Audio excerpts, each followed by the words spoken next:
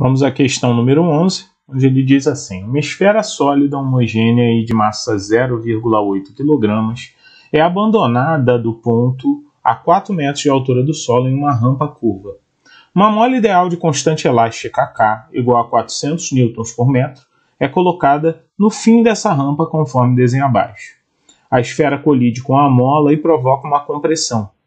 Desprezando as forças dissipativas, considerando a intensidade da aceleração da gravidade 10 metros por segundo ao quadrado, e que a esfera apenas desliza e não rola, a máxima deformação sofrida pela mola é de letra A, 8 cm, B, 16 cm, C, 20 cm, D, 32 cm e E, 40 cm.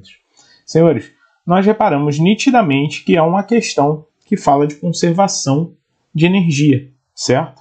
Então, se nós considerarmos esse ponto aqui, ó, onde a esfera foi abandonada, vou chamar esse ponto de 1, onde ele diz que a esfera foi abandonada, então a velocidade inicial dela é nula, né? E considerar que a esfera ela vai bater na mola e vai comprimir essa mola, né?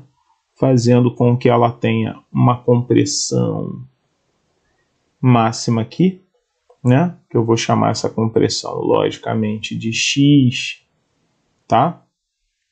É sinal de que neste ponto, eu vou chamar de 2, esse ponto aqui, ó, ponto 2, lá, em, lá em cima eu chamei de 1, um, a velocidade da bolinha, da esfera, também será igual a zero. Douglas, como é que você vai aplicar a conservação de energia aí? Simples, né? A energia mecânica no ponto 1 um será igual a energia mecânica no ponto 2. Lembrando que a energia mecânica é a soma da energia cinética com a energia potencial e nós não vamos ter energia cinética nem no ponto 1 nem no ponto 2, já que o corpo está parado, certo? Então nós só vamos ter energia potencial. No caso do ponto 1, amigos, eu tenho altura, então ele só vai ter energia potencial gravitacional. Então ele só vai ter mgh, correto? Já no ponto 2, ele só vai ter energia potencial elástica, que é K x ao quadrado sobre 2, ok? Bom, executando então a nossa matemática básica, né, é só colocar aqui os dados da questão, né? A massa 0,8, a gravidade 10, a altura 4 metros. Isso é igual ao K da mola né? Ele me deu também 400 vezes a deformação que eu quero ao quadrado sobre 2. Ok? 0,8 vezes 10 dá 8, vezes 4, 32, certo? Uma coisa que é importante é que o 2 com o 400 vai dar 200, aqui dá 1, né? Posso jogar já o 200 dividindo, então vai ficar assim, ó, 200 igual a x ao quadrado, ok? Podemos dividir aqui por 2, vai dar 16 e 100, certo?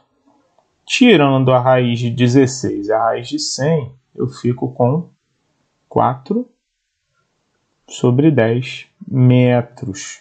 Repare que essa é a resposta, só que ele pediu isso em centímetros. É só nós multiplicarmos por 100. Já posso cortar esse zero com esse zero. Então, a minha resposta, amigos, 40 centímetros, ok? E o gabarito, amigos, opa, e o nosso gabarito só pode ser a letra E, ok? Um grande abraço e até a próxima questão, senhores.